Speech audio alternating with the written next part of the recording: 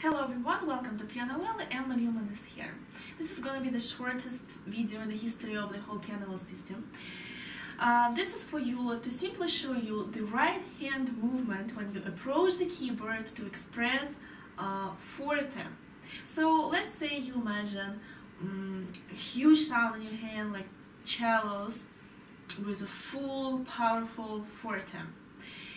And uh, this is the way how to efficiently express and convey your idea on the instrument so your forte wouldn't sound harsh. When you bring your hand to the keyboard, you have to start with the elbow.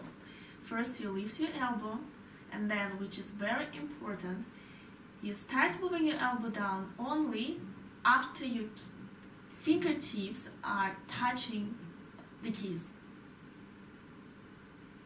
So it looks like this.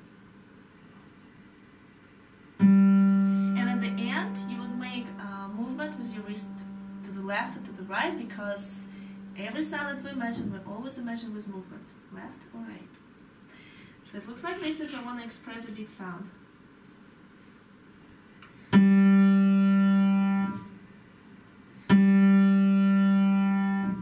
And let's say if you don't do these tips and just bring your hand to the keyboard without lifting elbow, then if you want to express the sound, because the energy will be stuck in the muscles and you might even feel some tension over here. Or let's say you lift your elbow, but you start moving it down before your fingers touching the key. So it will look a little bit artificial and will be felt a little bit uncomfortable, I guess, like this.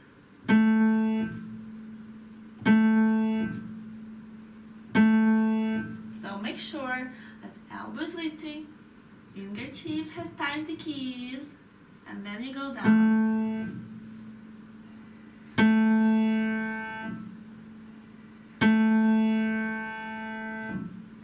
That's it.